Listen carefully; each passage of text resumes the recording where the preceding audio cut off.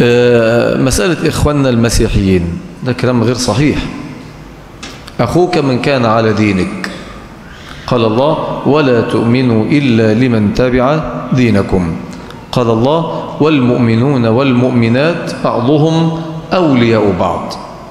قال الله أو قال النبي عليه الصلاة والسلام وكونوا عباد الله إخوانا.